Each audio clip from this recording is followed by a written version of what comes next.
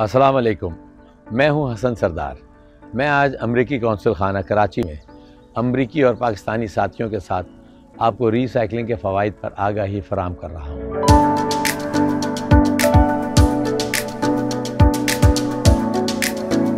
क्या आपको मालूम है कि प्लास्टिक की 10 बोतलें रिसाइकिल करने से हासिल शुदा तोानाई एक लैपटॉप को 25 घंटे तक चला सकती है?